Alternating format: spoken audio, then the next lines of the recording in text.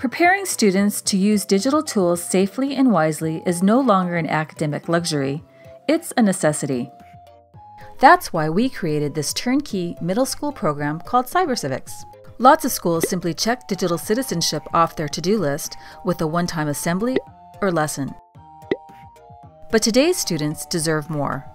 CyberCivics provides them with a foundational understanding of digital citizenship and builds upon that base with a year of information literacy lessons before finally challenging students to use critical thinking skills as they become positive and empowered media participants. Today, schools in over 40 U.S. states and internationally use CyberCivics because it is effective and easy to use. Teachers simply download lessons they can deliver in the classroom. Every lesson includes hands on activities that investigate important digital literacy topics.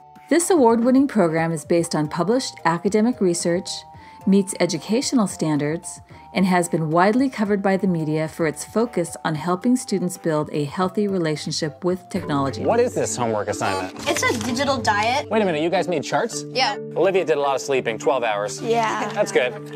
Best of all, CyberCivics keeps problems out of the principal's office. In the last three years, I have not had one cyberbullying or a digital drama incident occur. And do you credit the program for that? Absolutely.